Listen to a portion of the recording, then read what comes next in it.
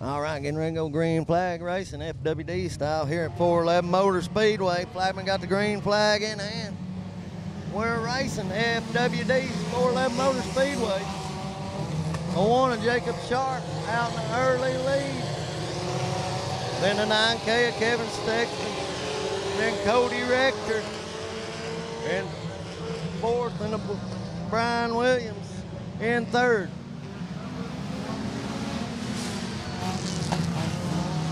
As we've got one lap in, 14 laps to go for these FWDs here at 411 Motor Speedway.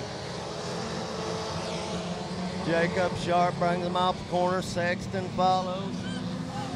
Nathan Adams runs third in that A93. And then the wagon, 46 of Cody Rector runs fourth. And then the 38 of Josh Detweiler runs fifth. That's your top five at the moment.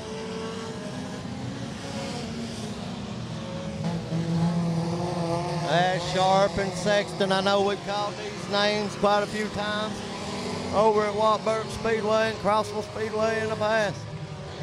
As we got a slow car down the back stretch, see if he can get it back going again. Maybe we can keep this thing clean and green. As the one up sharp, back down the back stretch, the 9K of Sexton, but Adams, oh, the K goes up, gets, thought he was going to get in the wall, managed to keep it straight, pulls it back down, good save by Sexton. But that moves Adam into your second spot, and the 321 of Dustin Duncan looking underneath that 46 wagon of Rector. Duncan goes by, move Duncan up into that fourth spot. As there's a battle for the lead shaping up. As the one of Sharp still out front, but Adams is knocking on the door. There's a slow lap car in front of them. Sharp takes his one machine down to the bottom, clears the lap car. Adams gets by that machine too, coming up on the 17 car, gets it off the racetrack just in time. As the front two are nose to tail, off a turn four. There'll be seven laps to go for Jacob Sharp. Nathan Adams has a run up to the back bumper. Sharp, Adam up to the back bumper Sharp. They roll through three and four. Sharp brings it back down toward the middle of the racetrack, back down the main straightaway. This is where Adams has been a little better over here off of turn two. Pulls right back up to the back bumper once again. Back down the back straightaway off of turn four another time.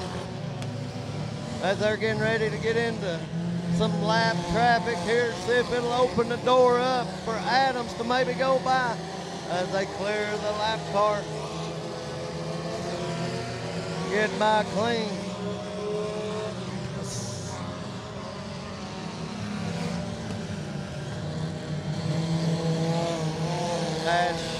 Oh, that lap car gets up, goes over, goes over on his roof, takes a soft roll. Luckily, nobody hits him as the 27 car got up on the wall, rolled it over here off a of turn two. That's Daniel Coggins, I think it is, in that 27 machine. Red flag's out on this one. He's moving. He's moving in the car.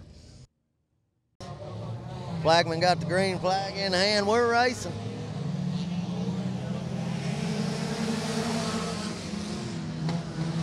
As the one got away on the start, but the 321 had a run on Adams. Sharp still leads. Here comes a 9K of Sexton fighting back.